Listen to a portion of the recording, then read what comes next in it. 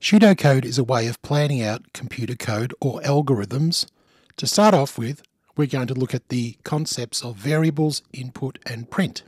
When you look at pseudocode, you should read down the page as you would normally do when reading a book.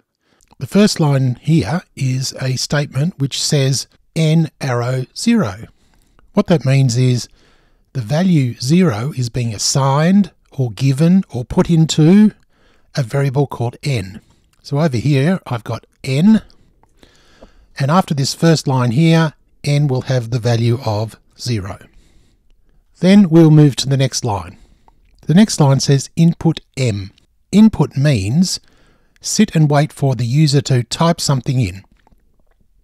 In this case, we're going to store whatever is typed in into the variable m. So let's assume that somebody typed in the value 3. So after these two lines, the variables n and m have the values 0 and 3. The next line is print. This will print two numbers on the screen depending on what n and m are. So what will happen is that down here on the screen we'll end up with 0 and 3. The next line says print n plus m. So as you can probably imagine, n and m are added together, in this case 0 and 3, and we get the answer 3. The last line doesn't have any variables but has quotation marks. This means the literal string hello world will be printed to the screen as it's written. So after all these lines of code have occurred, the screen will have this output. So you can see I've inserted a new line n arrow 4. Let's see what happens to the code. The first line will do the same as before and n will be given the value 0. The next line will do is again the same thing and someone will type in a number. Let's assume this time they typed in the number 5. Print n and m will print to the screen and we will get 0 and 5 on the screen. The next line says n is assigned the value of 4. So that means n now has the number 4 in it.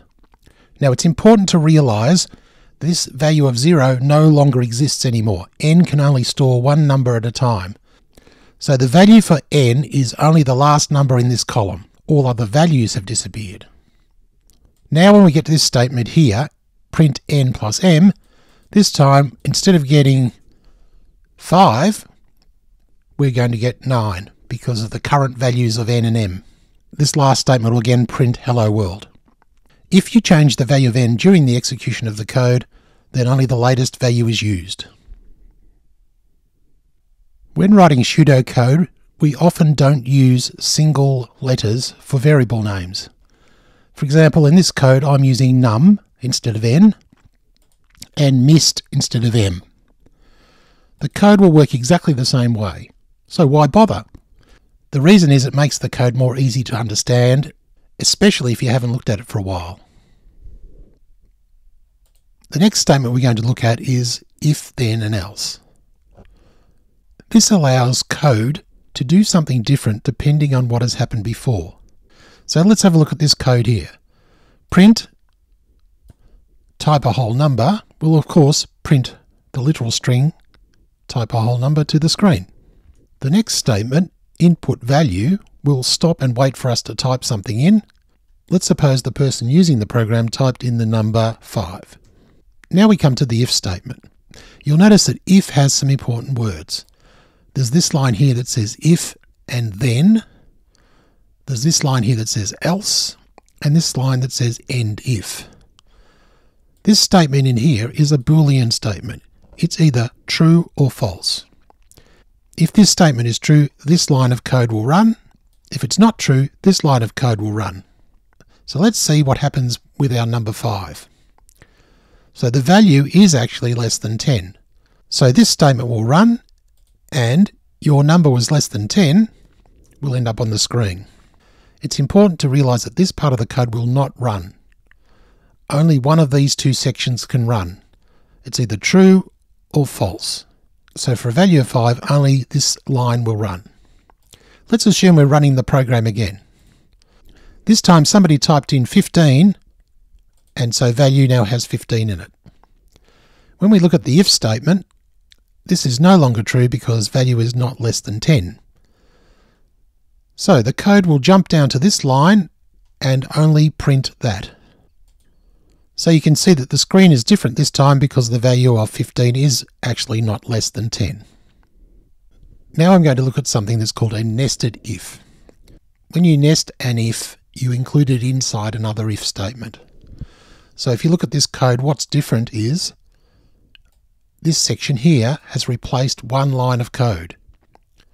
This whole section will be executed if the boolean operation here is false. So if the value is not less than 10, all of this will execute. So let's assume that when the program ran, the number typed in by the user was 5. This statement would be true, and so this would be printed to the screen. Because value is less than 10, none of this second part here will execute because that's what happens if it's false. So the screen will look like this. Let's assume now that we actually run the program and we input the value 15. This line here will be false. So this line is ignored. So the program jumps down to here, which is all the code that will run because value is not less than 10. So the first thing that happens is there's another if. So the program will check to see if the value is less than 20. And of course it is because it's 15. So this time we will print this to the screen. So your screen will look like this. So because value is less than 20, this line here will not run. So let's now input a value of 30. This will not be true, so the program will jump down to here. This will not be true, so the program will jump down to here and only that line will run. So this time we will get this printed to the screen. Nested ifs can be very useful for looking at multiple intervals. The next statement we're going to look at is called while. Here it is here. You notice it's similar to if in that there is a Boolean expression after it. What makes while different is it will keep executing these two lines of code until this is not true. So let's have a look at this program in action. First of all, it's going to print squares less than 10 to the screen. Then the value of 1 will be stored in x. Next we get to the while statement. Because 1 squared is less than 10, this statement is true, so both of these will run. We will get 1 squared printed to the screen, which is obviously 1, and then the value of x will be increased by 1. The way to interpret this line of code is that 1 is added to x, and then that value is then stored in x. So over here I've got the previous value and the current value. Remember, only the current value is active. All previous values are now deleted. When we finish those two lines, we come to the end, which means we go back up to the top again and repeat the same process. Now this time because x is now worth 2, 2 squared is 4, still less than 10, so we're going to print x squared. And so what will be on the screen will be 4. Then we add one more to x again, and so the, after this line, the current value of x is 3. When we get to the end, we jump back up to the top again and check to see if this is true still. So now that x is 3, 3 squared is still less than 10, so this time we're going to print 3 squared. So we print 3 squared, and then we add 1 onto x again. So now x is worth 4. When we jump back up to here and test to see if 4 squared is less than 10, we get false. So that means the code between the while and the end while is ignored and the program will continue on from the bottom. Now let's look at a couple of common mistakes that people make.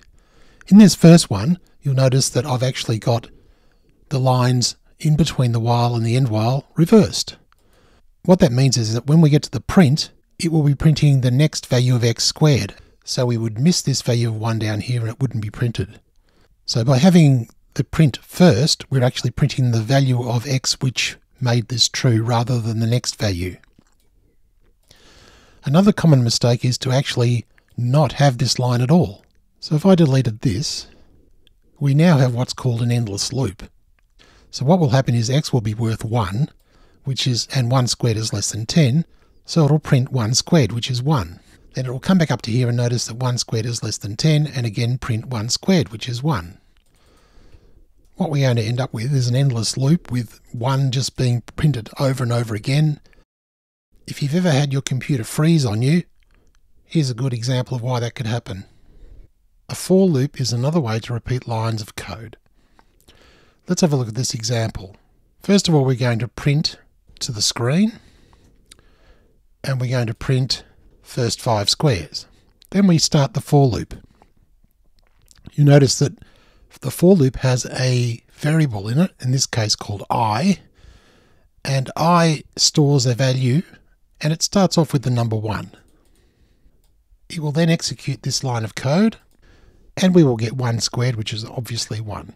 Then it will get to the end of the for loop and jump back up to the top again and i will be changed to 2.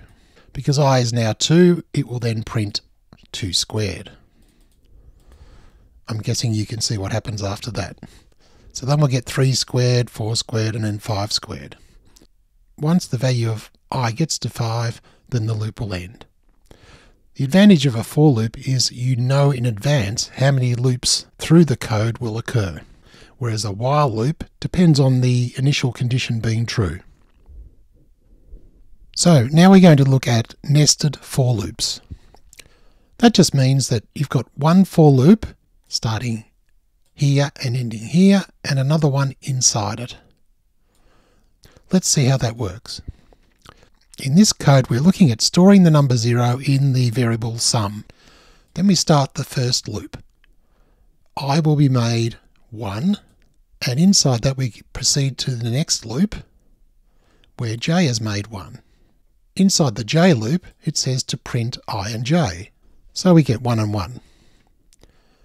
The next statement says to take sum and add i and j to it. So adding 1 plus 1 plus 0 obviously makes 2. We get to the end of this loop and we jump back up to here again because we haven't finished the j loop yet and j is incremented to 2. We then print i and j and we get 1 and 2. We then change the value of sum again. So sum will become 1 plus 2 plus 2, which will become 5.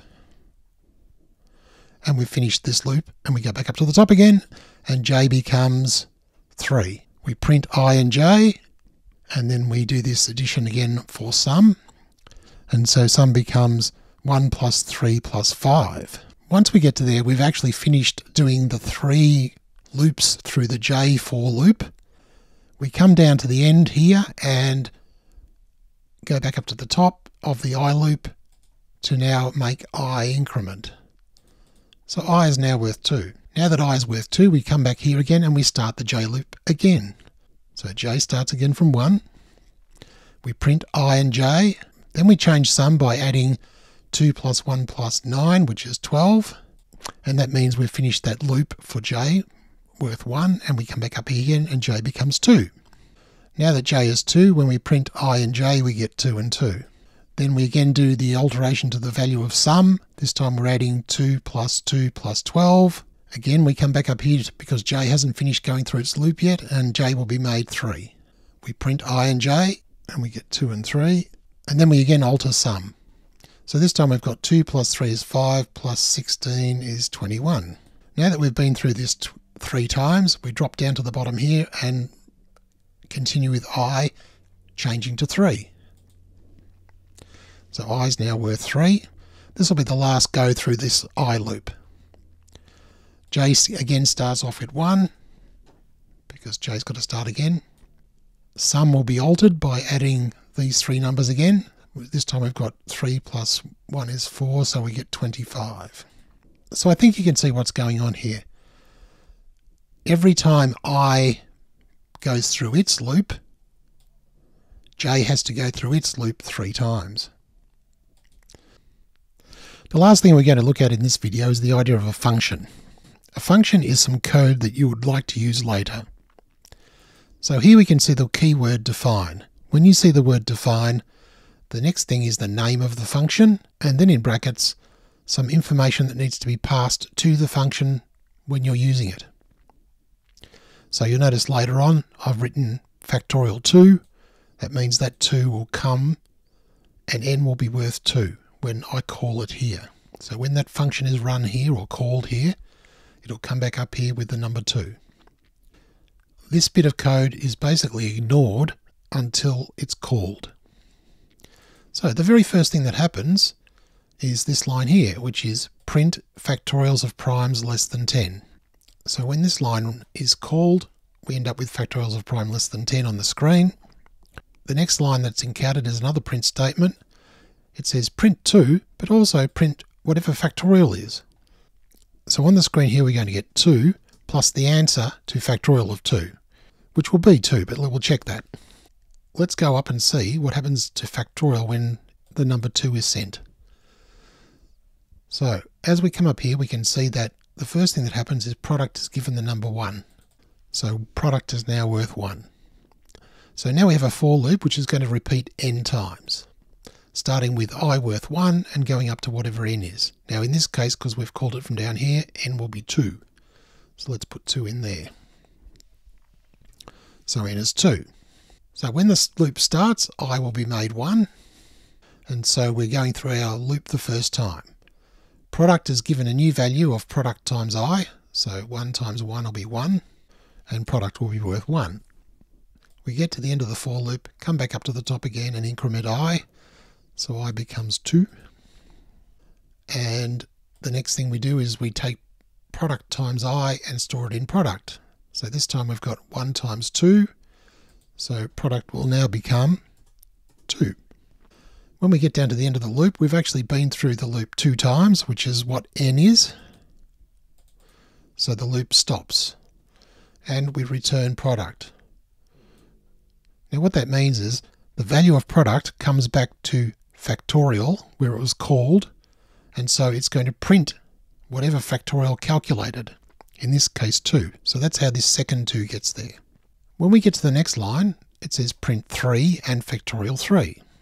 So again, we're going to get 3 and then the code will jump up to here and do factorial 3. So product will be become 1 we're going to loop from i equals 1 to 3 because we sent 3 to n. So this is the first time through the loop and product will be changed to product multiplied by i. So 1 times 1, so product will be 1. Then we go through the loop again and this time i is 2. So the product will be equal to product times i. So 1 times 2 is 2. So product is now 2.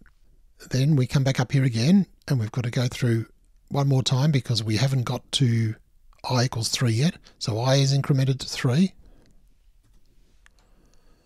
and product will be product times i. So 2 times 3 is 6. This is the third time through the loop, so we stop and now we return product, which is worth 6. Print will print the result of factorial, which was 6. So factorial returns 6, so that gets printed. I won't go through these two lines because it's the same thing, it's just going to take longer, but it's the same procedure.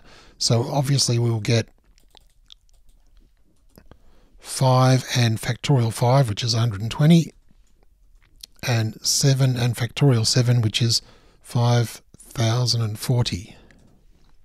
So this has demonstrated how using a function can save writing more code. The other advantage is, if I wanted to change factorial, instead of having to change it four times for each of these, I only have to change it once. I hope you found this video helpful and good luck with your studies of pseudocode.